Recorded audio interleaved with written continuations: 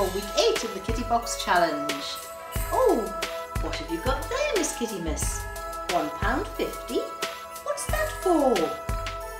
£1.50 pays for one worming tablet.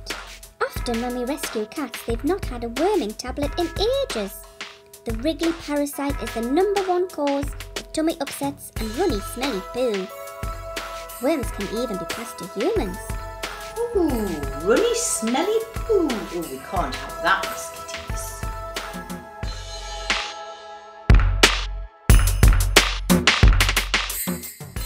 Pop your £1.50 in an envelope or secure it with sellotape to one of your kitty box items. Next week is our final kitty box challenge. Bye for now.